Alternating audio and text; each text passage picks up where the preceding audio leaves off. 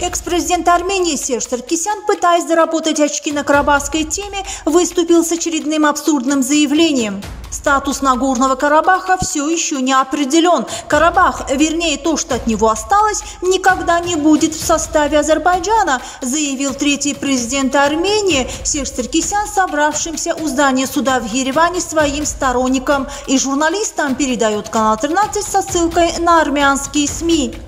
Сожалению, трагедию предотвратить не удалось, но я вижу выход. Капитулянты должны уйти. Народ должен избрать правительство, члены которого будут усердно работать для повышения уровня безопасности страны и благосостояния граждан, сказал он. Сарксян убежден, что другого пути и альтернативы нет. Касаясь Карабахской войны, он отметил, что потребовалась целая кровавая война, огромные жертвы, чтобы глаза армянского народа раскрылись, чтобы люди поняли намерения и сущность этих властей.